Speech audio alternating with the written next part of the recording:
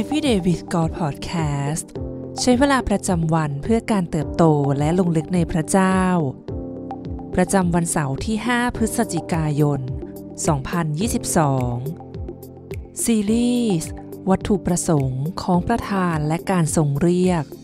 วันที่ 5 การทรงเรียกและความสัมพันธ์ในชีวิต บางครั้งชีวิตของเราก็ไม่ได้เติบโตตามขนาดของพรสวรรค์และศักยภาพที่เรามี แต่เติบโตตามระดับความสัมพันธ์ และกลไกของสังคมรอบตัว การใช้เพียงพรสวรรค์ ศักยภาพ และสติปัญญา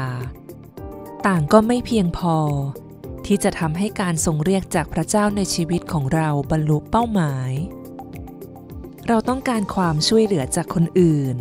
รวมถึงความสัมพันธ์ที่เหมาะสมด้วย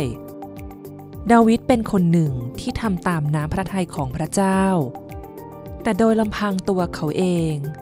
ก็คงไม่อาจขึ้นครองบัลลังก์ได้ หากปราศจากความช่วยเหลือของโจนาธาน ทุกความสัมพันธ์มีความสำคัญอย่างยิ่งต่อการดำเนินชีวิตตามวัตถุประสงค์ของพระเจ้า มีคำกล่าวว่า หากเราต้องการที่จะก้าวหน้าอย่างรวดเร็วในชีวิต ให้เราเดินคนเดียว แต่หากเราต้องการก้าวไปได้ไกล เราต้องมีเพื่อนร่วมทาง ซึ่งเพื่อนร่วมทางไม่ใช่ใครก็ได้ แต่ต้องเป็นคนที่เหมาะสมเท่านั้น คนที่รู้ว่าเราต้องการอะไร รู้ว่าเราควรจะรู้อะไร คนที่เคยประสบความสำเร็จในงานรับใช้ที่เราได้รับการส่งเรียก คนที่เราจะนำประสบการณ์ของพวกเขามาใช้ให้เป็นประโยชน์ได้ จงสร้างความสัมพันธ์ที่ดี โดยอาจเริ่มต้นจากผู้คนที่มีการทรงเรียกเช่นเดียวกับเรา เมื่อครั้งที่พระเยซูทรงมีพระชนมาอยู่ได้ 12พรรษา พระองค์ทรงนั่งอยู่ในพระวิหาร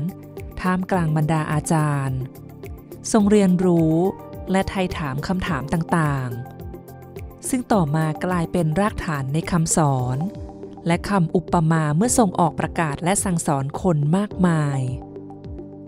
สิ่งที่เรากำลังใช้เวลาข้องเกี่ยว และผู้คนที่เรากำลังคบค้าสมาคม จึงไม่ต่างจากภาพตัวอย่างของจุดหมายปลายทางที่เรามุ่งไป ในอพยพบทที่ 4 ข้อที่ 10ถึง17 แต่โมเสสทูลพระยาเวว่า องค์เจ้านาย ข้าพระองค์ไม่ใช่นักพูด ทั้งในอดีต และตั้งแต่เมื่อพระองค์ตรัสกับผู้รับใช้ของพระองค์ ข้าพระองค์เป็นคนพูดไม่คล่อง พระยาเวจึงตรัสกับโมเสสว่า ใครเล่าสร้างปากมนุษย์ หรือทำให้เป็นใบ หูหนวก ตาดี หรือตาบอด เรายาเว เป็นผู้ทำไม่ใช่หรือ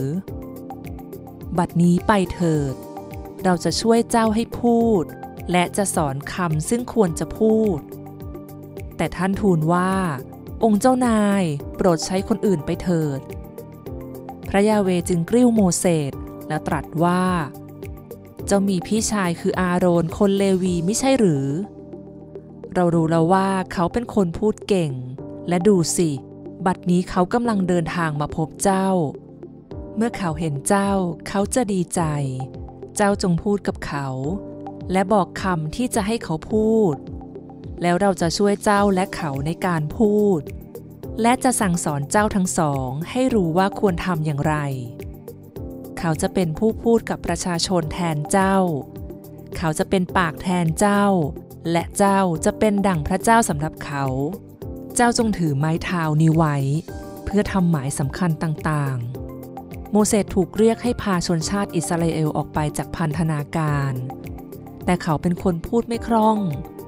อย่างไรก็ดีความบกพร่องในการพูดของเขามิได้ทำให้การทรงเรียกของพระเจ้าเปลี่ยนไป พระเจ้าทรงให้อาโรน เป็นผู้ช่วยทำหน้าที่แทนเขาในการพูดกับประชาชน ของประธานและความสามารถของคนอื่น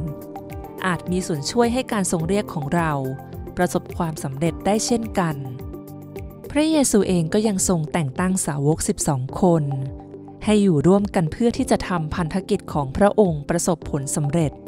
ดังนั้นจงให้ความสำคัญกับทุกความสัมพันธ์ในชีวิต ปริมาณของเพื่อนที่เราครบมิได้สำคัญเท่ากับคุณภาพ จงให้ความสัมพันธ์ของเรา ขนานไปกับการทรงเรียกของพระเจ้า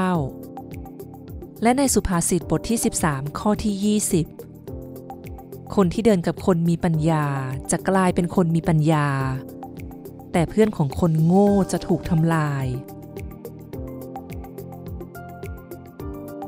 สิ่งที่ต้องใคร่ควรในวันนี้ พระเจ้าทรงใช้ความสัมพันธ์ของเรา ให้เป็นประโยชน์และมีผลต่อการทรงเรียกอย่างไรบ้าง เราจะดูแลและพัฒนาความสัมพันธ์ที่มีให้ดี